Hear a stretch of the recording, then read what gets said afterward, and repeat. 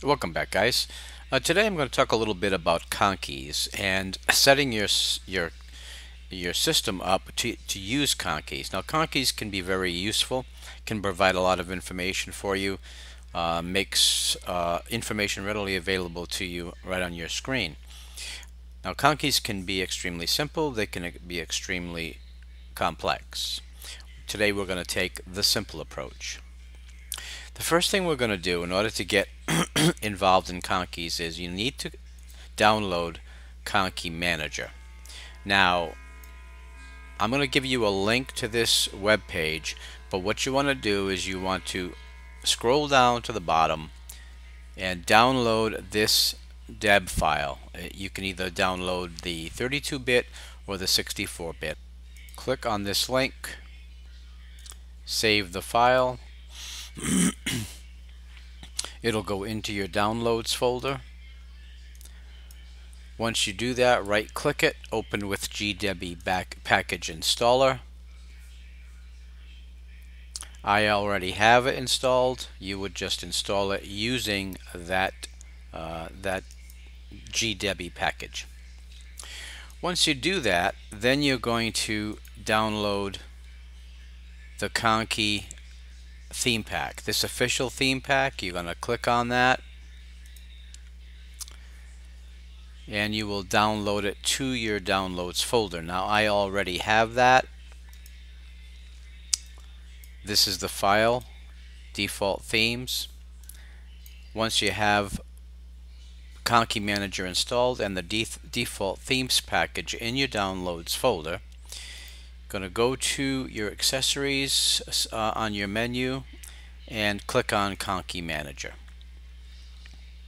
Once you click on Conky Manager, you're going to go over here to this icon right here and import theme pack, which I have already done. But if you click on that, then you'll be able to find that theme package in your downloads folder and then click open it will import all of those conkies. Then you will have all of these conkies available to you.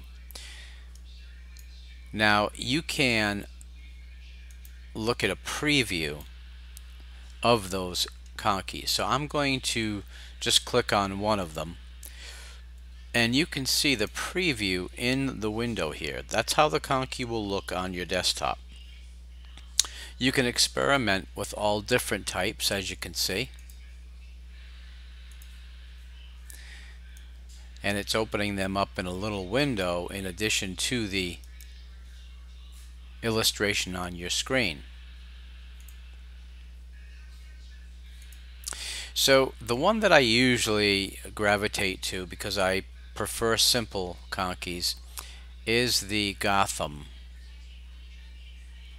and that's this one right here. Now this if I click that, you're going to see it pop up on my screen. Now, normally the default is in the top center, but what you can do if you want to move it to the right, all you're going to do is, once you have it highlighted and clicked, the little check mark there, then you're going to click on this icon right here, and that will allow you to edit the widget, and you can move it top right, top left, let's go top middle and click apply and it'll move it over.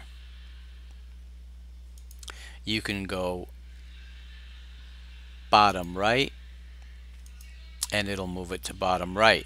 Now you would adjust your gaps your margins in order to reposition that. I prefer the top right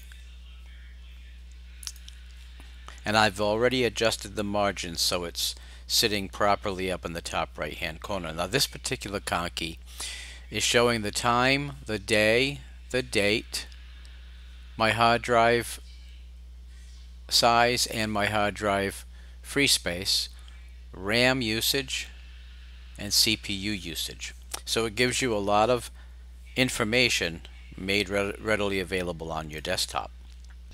There's a lot that you can do with the Conkies using Conky Manager. That makes Conkies accessible to you in a simplified format and giving you complete control over the appearance.